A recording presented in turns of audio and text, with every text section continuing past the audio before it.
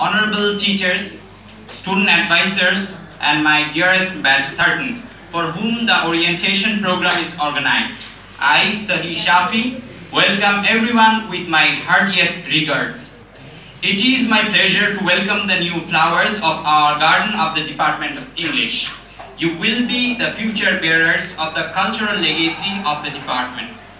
Our journey started from the very beginning of the establishment of the University of Dhaka, the first of its kind in the then East Bengal under the British Raj.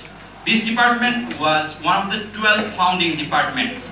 Our department has played significant roles in forming the political and the intellectual base of Bangladesh. From the language movement in 1952 to the War of Liberation in 1971, the students and the teachers have sacrificed their lives for the sake of the country. We have prominent writers in both Bangla and English, including Professor Kabir Chowdhury, Professor Emeritus Serajul Islam Chowdhury, Professor Dr. Syed Manzoorul Islam, Professor Fakrul Alam, Professor Kaiser Haq, and many others. Our department is the echelon of the academic excellence. Our alumni are inspiring individuals who are the forebearers of the flag of the department. In our first year curriculum, we had total six courses which were all made very enjoyable and easygoing by our teachers. By having group works, group discussions, presentations, and the facilities of multimedia classroom for our courses, it seemed much easier for, under, for us to understand literature. All our teachers are highly qualified in drawing the students' attention. If any student has problems, he or she can meet the mentors after the class who are always there for us.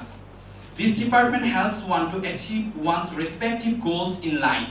Our seminar libraries and HACAB lab will surely help one to sail the boat of imagination to the undiscovered horizons of literature.